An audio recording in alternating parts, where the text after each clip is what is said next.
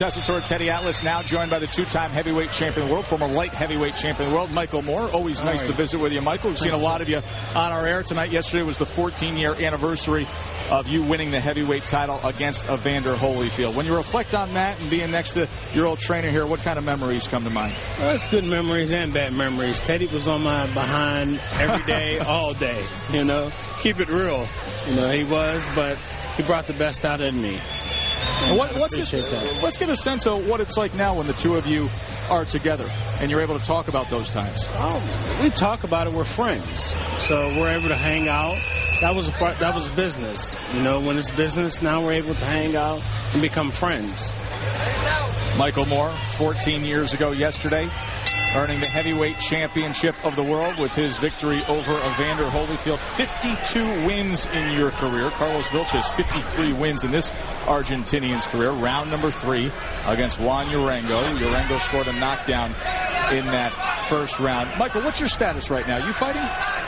No, I'm not fighting. not be. well, you just fought in February. You had a first round knockout win, and you have won six in a row dating back to 2004. But yeah, We've heard this from you before that you're not fighting. No, I had surgery on my left hand, and my doctor, Dr. Melone, told me it was over. I couldn't fight anymore.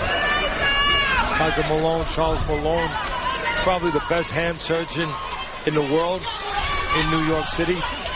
Does surgery on a lot of fighters' hands. Michael Moorer with us here. See, Teddy, as we were talking yesterday, you said Vel Velches has to move around. Urango doesn't come in behind his jab. He comes in when he wants to get close, and as he gets close, he unleashes a lot of heavy leather. He's not able to come in behind his jab. And because there's no jab coming, it gives an opportunity for Vilches to pot shot him a little bit, which right now he's not doing because he's feeling the aftermath of the punches he took the last round and right now, I think he's being a little bit too careful, worrying about making sure he moves his legs and stays protected and not thinking about offense. But there are opportunities for Vilches, as you just said, to catch Urango coming in with no jab. Just pot shot him a little bit like that and then move out to the side. And just how Urango is coming in, he's coming in with his head down as we spoke about yesterday or earlier today as he's coming in, all he has to do is be able to land Vilches as be able to land that uppercut because his head is down. He's coming in straight in. no angle. There will be opportunities for right hands, whether it's an uppercut or a straight right hand from Vilches. Well, Vilches is doing a great job by keep moving because he's making Urango move.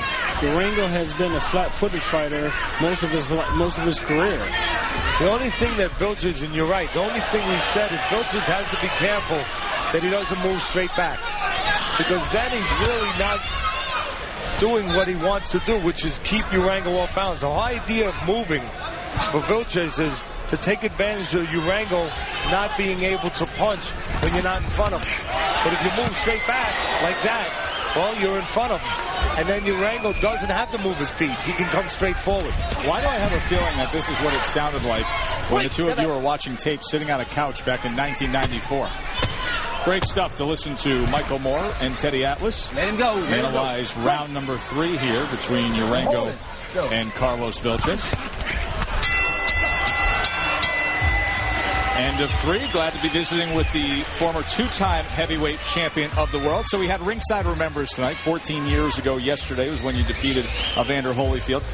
What were you thinking when you came back to your corner and Teddy was sitting on your stool? Wow, I can say it now. I was like, man, what is wrong with you? I looked at him like, is this guy crazy? I said, Teddy, I got to fight. You know, but I, but I guess that, that's what you need to do to bring the best out in me. I was thinking the same thing. What the hell is wrong with you? well, the, you guys have uh, talked about the jab being a story here with Juan Urango, the lack of the jab. When you fought Holyfield, you landed 180 out of 309 thrown. As we take a look at 14 years ago yesterday, the total jabs 180 of 309. It, it always amazes me week after week, Michael, how many fighters just don't get it? How single-handedly having that one weapon will get you through time and time again, get you out of trouble and make trouble for the other guy. Well, most fighters they want to load up on the punches to try to get knockouts because that's what the crowd wants to see is knockouts. They don't know that if you establish a jab, you're able to put punches behind the jab. You know, Vilches has been involved in head clashes before, where he's been cut, and where actually he's been involved in a couple of technical decisions because of head clashes. Just a moment ago, both these fighters came very close to banging heads. Would not be surprised with their style. Oh, you see him wiping right there. Would not be surprised if we saw some banging of the nuggets on the inside and maybe a cut. And again, to elaborate and take it a little further, what you touched on, Mike, is movement so important depending on the style you're dealing with. In this case, Vilches with a stronger fighter in front of him needs to use that ring. Try to keep Urango off balance, but where are you moving? That's the discipline. That you're moving off to the sides and not straight back. Because then you defeat the whole purpose. Because it looks like a perception, hey, he's moving. He shouldn't be getting caught. But if he's moving straight back, Urango is not being kept off balance. And by the people watching this fight, they can see the experience. The experience is that Vilches is moving, he's on his toes, he's moving, trying to get out of the way. They look at Urango, Urango is flat-footed, but he's following him around the ring, he's not cutting the ring off. He wants to get in there and exchange punches like he is now. But, oh, big, big, big right hook. Four, five. That's it. Why even count?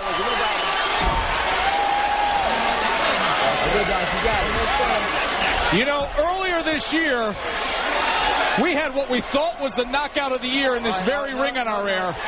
It may have just been topped by Juan Urango. Carlos Vilches just flat out on his back.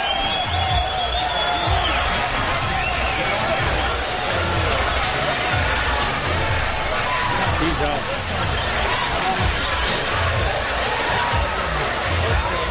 Medical attention immediately into the ring for Carlos Vilches. That's a good sign, though. He's conscious and he's communicating and he has motion of his neck and he's attempting to get up. They are not going to let him up until they feel confident that he can handle it.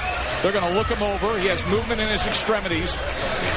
The right hook leveled him and then he hit the canvas very hard.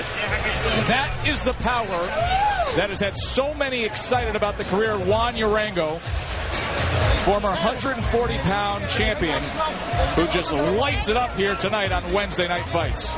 Well, Vilches has been knocked out four times, make it five. You know, he has not done well, Vilches, visiting in the United States when he's come here to fight. Most of his fights, as you touched on earlier, Joe, have been in Argentina. He's fought in the U.S. just four times in 63 fights, and he's lost three of those four, all by knockout. Make it four or five now, all by knockout losses when Vilches has come to U.S. soil. Dr. Robert Boltich and Alan Fields immediately into the ring to tend to Carlos Vilches. And Teddy, we don't want to play doctor, but you and I have seen this before, and there are some good signs that we're seeing right now yeah, out of Vilches.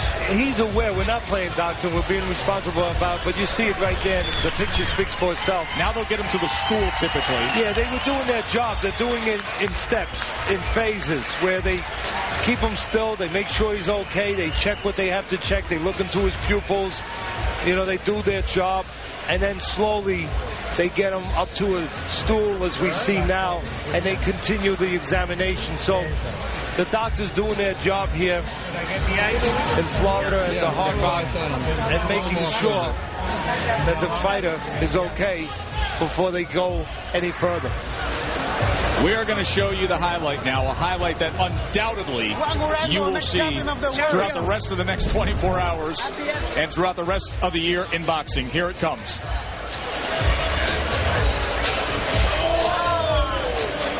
Wow. Beautiful. It's a beautiful right hook. Urango got him where he wanted him. He wanted to slug with him. As he slugged with him, he knew he was going to catch him. And you know, he got himself into a position. We talked about movement. And of course, movement in the center of the ring, on the outside of the ring. He got trapped on the ropes. And the left hand, a hand that you don't pay a lot of attention to it. Watch it right here. The left hand doesn't land, but it serves as a setup. The left hand sets it up. It distracts him just enough where the right hand lands. Listen to this in real time. Here's another slow-mo of the right hook. But we are going to let you listen to this right hook and just experience it in real time, as that is a real good sign there to see Carlos Vilches up on his feet. But let's take you back one more time to the fourth round knockout. One single right hook by Juan Urango. Here it is. Listen.